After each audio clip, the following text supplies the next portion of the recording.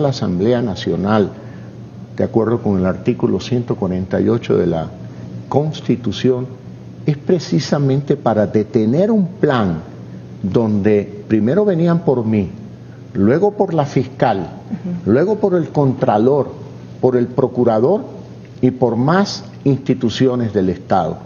Al haber disuelto la Asamblea Nacional, han, ha perdido efectividad este macabro plan para tomarse el control de las instituciones del Estado, para producir impunidad y viabilizar el retorno de un presidente que ha sido sentenciado por corrupción por la Corte Nacional de Justicia y que no quiere cumplir con la pena establecida de ocho años de prisión. Entonces, un macabro plan desde la justicia.